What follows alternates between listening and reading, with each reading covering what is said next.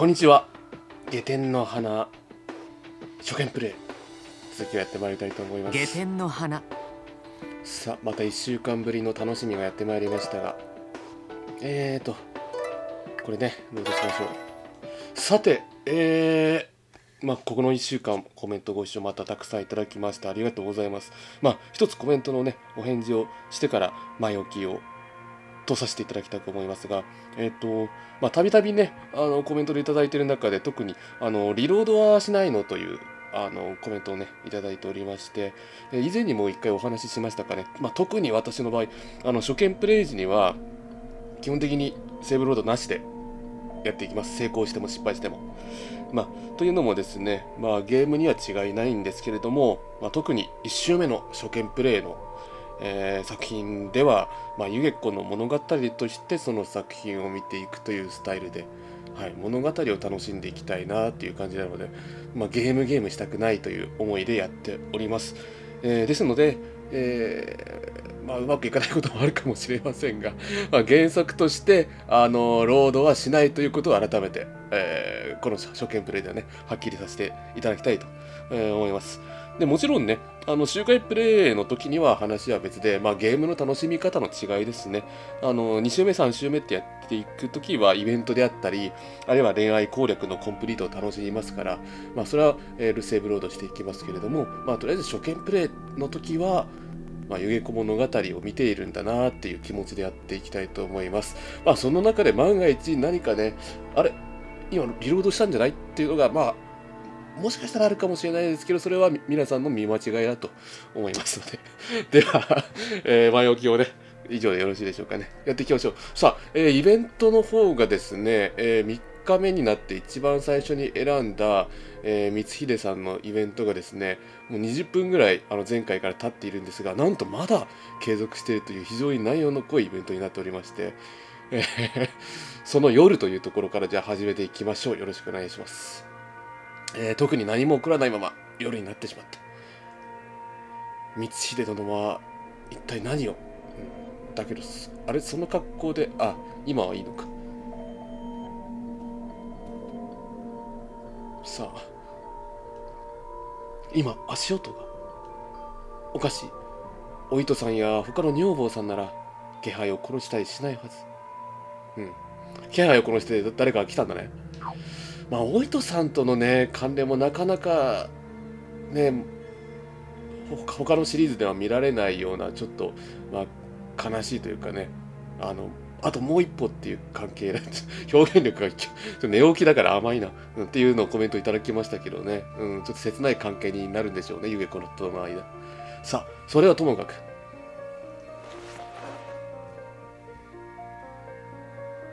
足音は光秀殿の部屋に向かっている。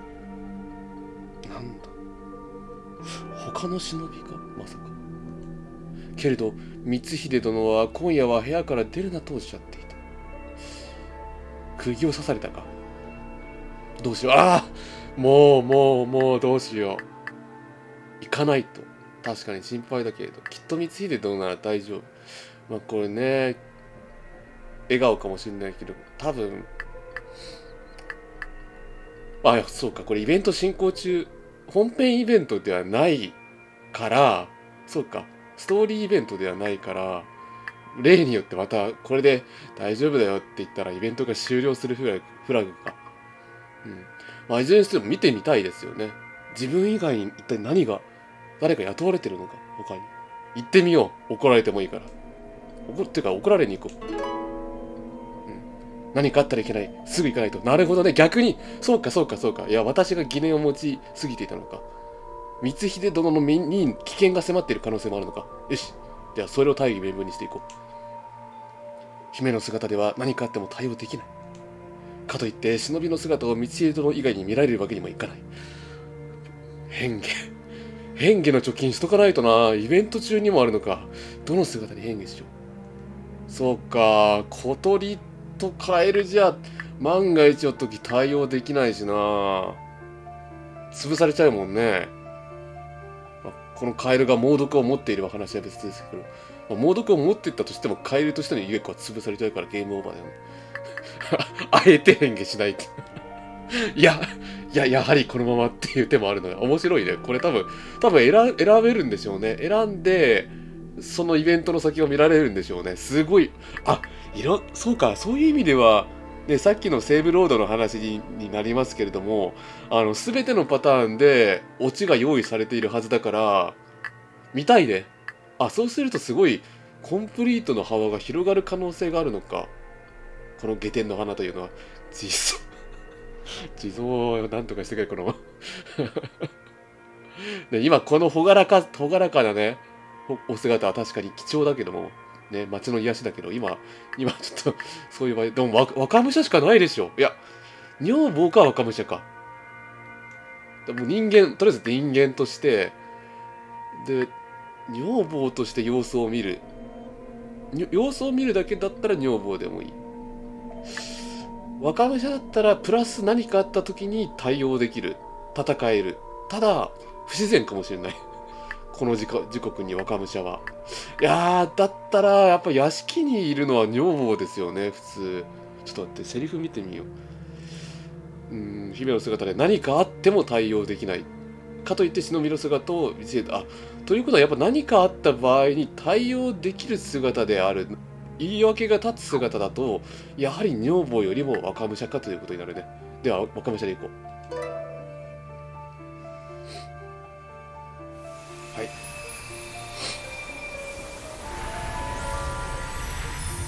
変化の音が若干若干いや。魔法少女を意識してるのかな。えー、よしこれなら見つかっても警護中の若武者だと思ってくれるはず。そう。急ごう。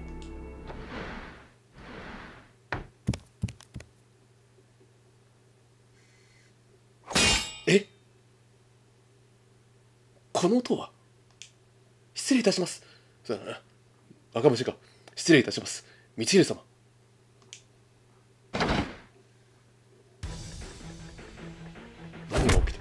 っと動く。動いてる。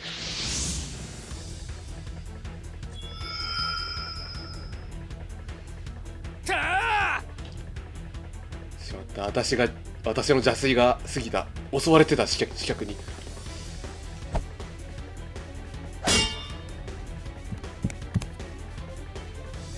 おいいね光秀殿助立ちいたします。さあ典型的な忍者の格好してるが。いらないよ。あれ？な。よそ見などしよって。やれやれ。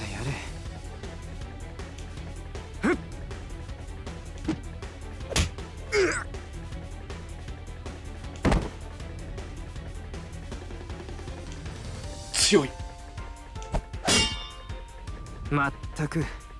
単純な頭にふさわしい立ち筋ばかりで嫌になるな。すごい。ねこれだけの盾を演じているのに全く息も分からずに冷静な冷静なその口調のまま。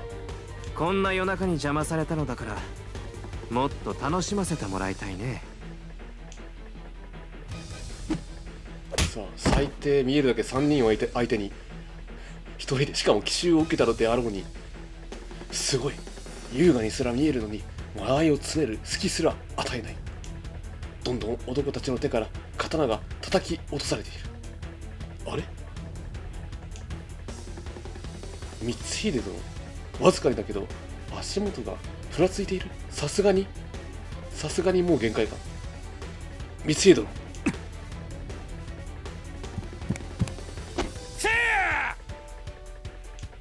危ないちょっと待ってちょっと待って。苦手な苦手なやつ来た。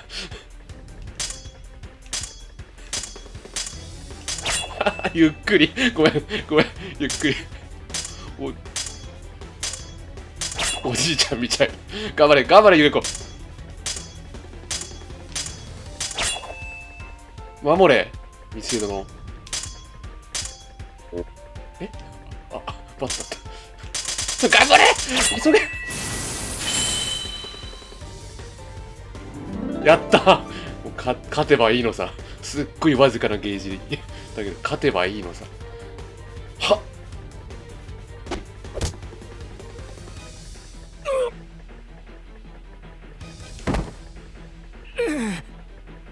どうだ？おい大丈夫か？そう。こんなこんな状況でも気遣い合ってる。刺客同士は仲がいいのか？あなたたちは何者です？ここ道枝様の資質と知っての狼藉ですか？名を名乗りなさい。え貴様よくも邪魔を！まあまあ名乗れと言って名乗るような立場ではないよな。暗殺者だものな。往生際が悪い。そこまでだよ。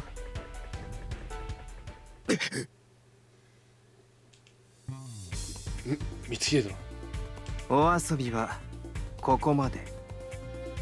そろそろお顔を拝見しましょうか。これだけの危機にありながらねまあすどんなにね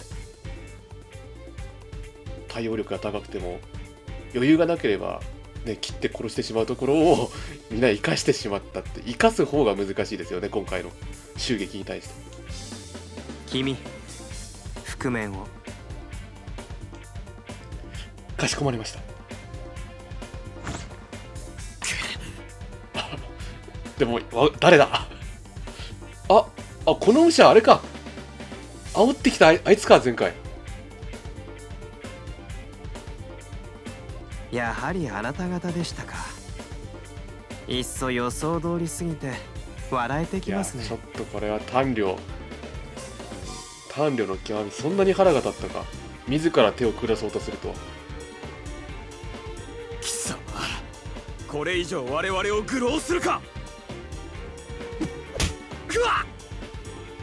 本当にやかましいお方だ。それでこちらが山口殿ならそちらは久野殿でしょうか。おっと動いたら危ないですよ。それとも野襲をかけたのは死に急ぐゆえの愚行でしたか？自分の処刑命令書にサインをしたようなものですね本当に。この二人はヤンウェリーの言葉を借りれば。まさかとは思いますが今宵の野襲佐久間殿の指示などということはありませんね。いかん。そこまで。あちなみに今まで言わなかったけどそう息子の信秀はそれから結構命を長らえてあの茶人としてね 有名になりました。あの武将としてはあの父父親と同様ちょっとパッとしなかったんですがね。実はこの信秀さんはね、まあ、後々まで生きながらいます。佐久間殿は何も知らぬ。本当かな？貴様の佐久間系の仕打ちに加え最近の信長様に対する不審な振る舞い。ああそういう感情的に言われたら確かに。うん佐久間殿の差し金じゃなさそうな気がしててね。彼ら彼ら自身の敵外心かもしれない。これ以上許すわけにはいかぬと我々が判断したまで。呆れましたね。つまり私の存在が目に余ったから野襲という短絡的な行動に出たわけですね。剣の腕でも楽しませてくれないしつまらない方々だ。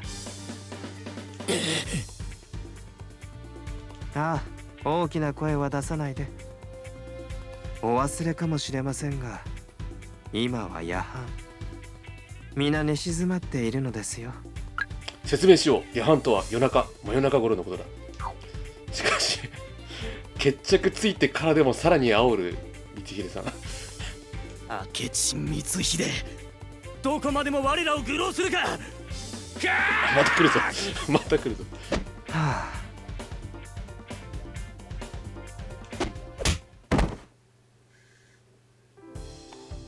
あああ煩わしいな。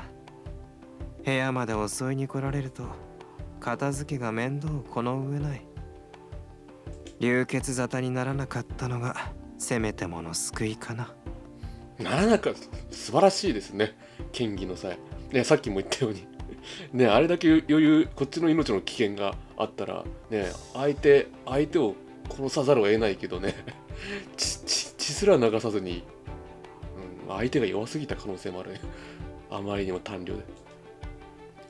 全員峰打ちにしたのですか？はい。相手を殺さず攻撃するため刀の背面つまり峰で打つこと。ちなみにすごく痛いと思います。仮にそれをやったとしても。すごく痛いのは変わりない。切る方が楽だったけれどね。ね。部屋を台無しにされたくないしいろいろと聞き出したいこともある。聞き出したいこと？何が気に入らなくて野襲なんて愚かな真似をしたのかとかね。それは修練所のことがあったからでしょう。あというかももうこれあれかもう湯気子湯気子として接してるのか。もしや光秀殿ご自身がこうなるよう仕向けたのではないですか。あオーベルシュタイン。オーベルシュタインリスペクト。何のことかな。さてもう夜も遅いしひとまず本物の警護の者を呼んで彼らを引き取ってもらおうかな。まあわ分かってたか。ん？ん？危ない！どうした？大丈夫ですか？ミス殿。あふらついたのか。いきなり足元がふらつくなんて。気のせいか。体も熱いような。もしかして光秀殿体調が悪いのですか？違う。眠いんだよ。いいから君は早く姿を消しなさい引き渡しの場にいられたら面倒なことになるでしょうに。はい。承知しました。では私は天井裏にでも忍んでいます。騒ぎが大きくならないよう光秀殿は最小限の警護しか呼び寄せなかった。捕獲した男たちの処遇は後日信長様と相談した上で決めるらしい。確実に普通だったらもう終わりでしょ命が追放だけされただとしたら命が残るだけマシぐらいの極めて重い処分になるんでしょうが。山口殿。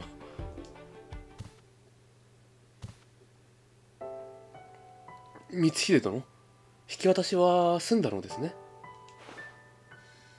ああなんとかね。やれやれ。引き渡す前に部屋を片付けさせればよかった。彼らに。無能な上に散らかすだけ散らかして本当に迷惑な連中だ。相変わらず辛辣な物言いだけれどどこか疲れた顔をしていらっしゃる、うん、まあ言ってもね、まあ、相当な精神的な重圧に耐える必要があるってことですよね立場的にだ自分が一心にその悪意を受け受ける立場に自ら身を置こうとしてるわけだからね。私でよければ手伝います。道枝殿ん？これは？信長様からの政務の指示と対策の一覧ですね。久野殿たちが来るまで夜遅くまでお仕事をされていたとは。そっか。信長様のご期待に沿うにはこれくらいの働きをしなくてはならないのですか？どういう意味かな？信長様は天下を狙うお方だよ。これくらい。家臣なら当然だろうに。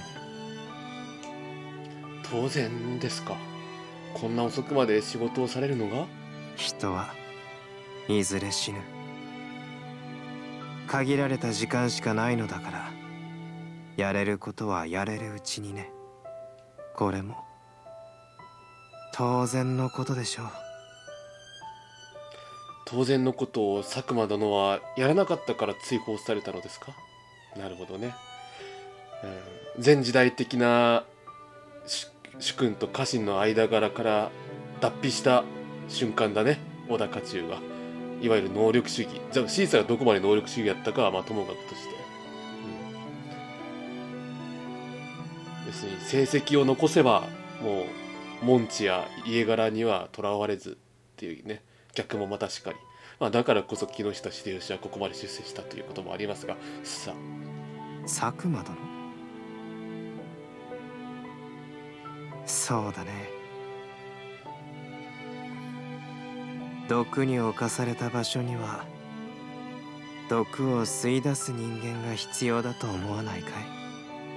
佐久間殿は地位を上り詰めたけれどそれゆえ怠惰と傲慢という毒に侵されてしまった。誰がどう考えてもそのようなものは邪魔だろう。邪魔って、うん誰にとってですか？だから進言したのですか？理由があったのですね。えどれがこれ正解不正解あるの？ちょっと待って。じゃあ誰にとって邪魔なのか。だから進言したのですか。だこれはさ邪魔ってその名のようなものは邪魔だろ。だから進言これはもう誰にとって邪魔かがはっきりしてる。ゆえ子は。信長様。理由があったのですね。ってのはただ受けただけか。そうですか。理由があったのですね。誰にとってですかって聞くとそんなこともわからないのかって思われるのかな？それともさらに意味慎重なことを言ってくれる？ああさらに意味慎重なことを言ってくる可能性もある。か。で顔は変わらない。じゃあ一番上が正解理論を適用するかここは。うん。いや真ん中でもいいですけどね。よし一番上だな。ここあえて聞いてみよう。道家殿と信長様どちらにとってですか？うんいい聞き方。君はどちらだと思う？さあ変さあ返されたよ。それは。君はなかなか鋭い質問をするから。好きだよ。あよかった。はぐらかされたけどはぐらかされた。言わないということはつまり信長様のために。いや言わないということはつまりどっちだろうねでもこれって光秀殿が損をするだけのような。うん。要するにまあ信長様にとっては邪魔者を排除してより天下人に近い体制づくりのために海を落としきれると。でその海を落とす作業をするのが光秀殿ということになると。汚れ役を引き受けている。で周りからの反感も買う。損をするのは光秀殿だけのような。光秀殿は優秀だけれど心の内を見せないことで皆のこと互いを招いている気がする。何か言いたいことでもあるのかな？いいよ。遠慮なく言ってごらん。言ってもいいんですか？あなたはまるでオーベルシュタインのようですって言ってもいいんですか？言えない。ああなるほどうまい。光秀殿はそんなご性分だと思いまして。はい体調が悪いのに遅くまでお勤めをされ野衆も予想しておられたでしょうに私に何も申し付けられず。そもそも佐久間殿への対処といい光秀殿殿はあまりに憎まれ役を買いすぎでは？ねえ。ただ一方あれだよね湯気子に部屋から出るなって命じたのはあの遠回しに何か今日あるから待機しておけっていうことかもしれないね。湯気子が部屋から出てったらね火星にも行けないから。そこまで考えて部屋でも待機を命じた可能性もあるよ。ゆえ子さん。ん？光秀殿君ね。いくらなんでもさすがに遠慮がなさすぎるんじゃないかな。いやそれはだってなんかさこの2人の関係がね今のところオービルシュタインとねその側近のフェルナーの関係としか今見えなかったからフェルナーのようにねズケズケと物が言えるね。芯の太い神経の太い人間じゃないとオーベルシュタインの側近は務まらないんだけどそんな感じになってきてるよ。失礼いたしました。そもそも君はなんでここにいるのかな？部屋から出ないようにと命じたはずだけれど。それは主の身に何かあってはと思い。ふん。けれどその唇で何と言おうと君は忍びだ。忍びは男の心を手玉に取るとか深夜に男の部屋に訪れるなんて何か意図があるんじゃないのかい？忍びや男の心を手玉に取るか山田風太郎作品を思い出しますがしてお BGM がなくなって怖い。い糸ですか？いやいやいやそんな。それでしたら先ほども申し上げた通り道しるべ殿に何かあってはいけないと思っただけです。だから若文者に化けてきた。へ怪物じえゃなくてなんだか嫌な予感がする。それに妙に光栄殿が近い。少し距離をとあそういう意味での嫌な予感か。と。どこへ行く気かな？お話しください光栄殿。こら。暴れない。それともこの唇に触れられたいのかな？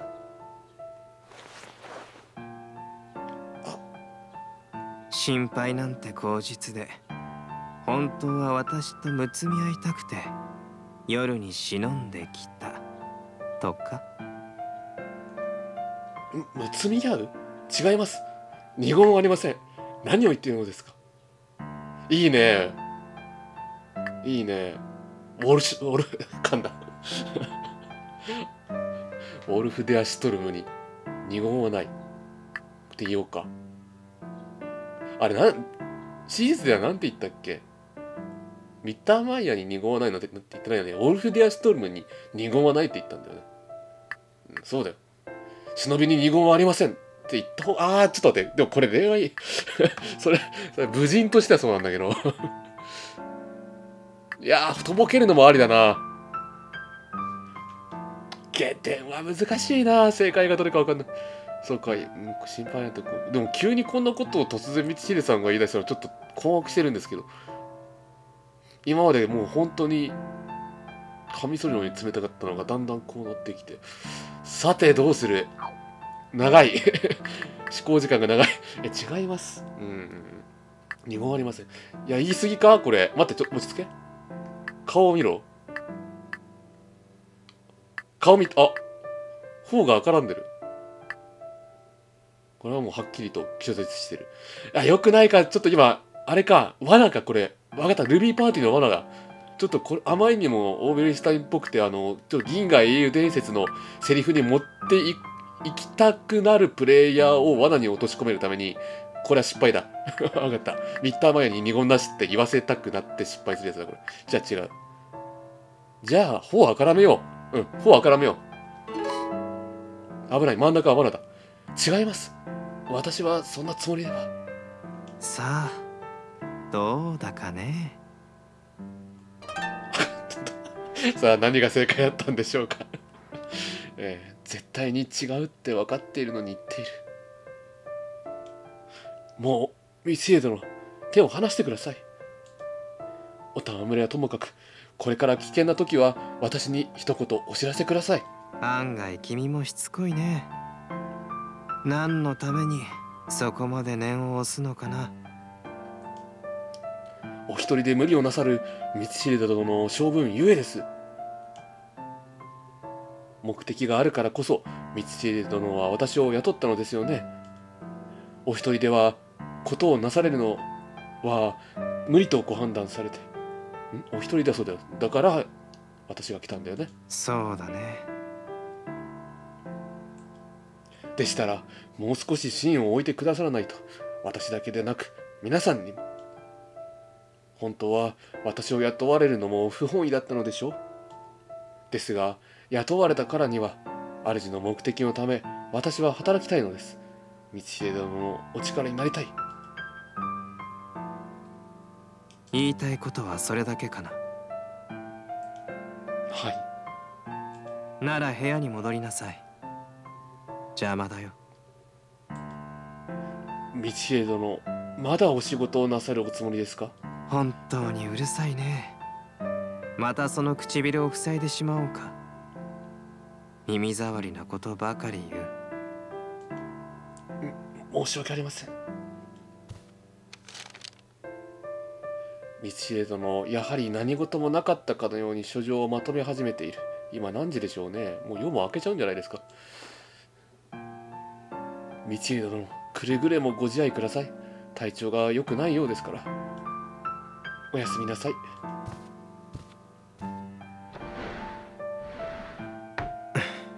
しかしゆえ子も言うようになりましたね。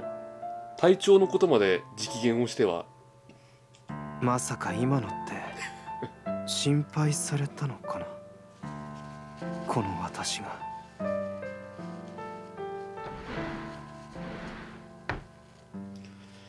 今日のことで光家殿の性分はよく分かった。光家殿は何でも一人で片付けようとなさり弁明を嫌う方。そうだからね秀吉タイプじゃないんだよね。あの能力を見出して「お前に任せるぞ!」みたいなことを言って葉っぱかけて、ね、その気にさせて天下取りの手伝いをさせるっていうタイプではないんだよね、まあ、だから味方が少ないんだよな。先ほどだって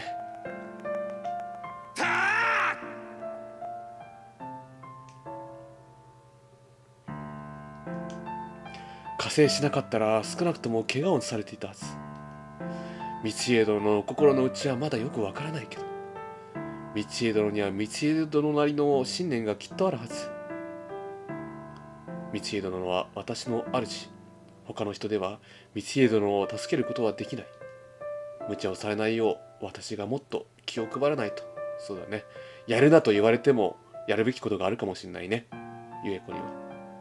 さあ、ということで、時間を見ますともう30分過ぎいやー、実に骨太なイベントでございました。いや、まさか今回のパート、まるまる使うとは。ということで、ミスティードのイベント、2人の関係じゃない、さざめきが終わりました。イベント成功済みです。さあ、次、まだ第3話でね、イベントが残っておりますが、絵にしが足りないそうです。まだまだ絵にしを上げていかないとね。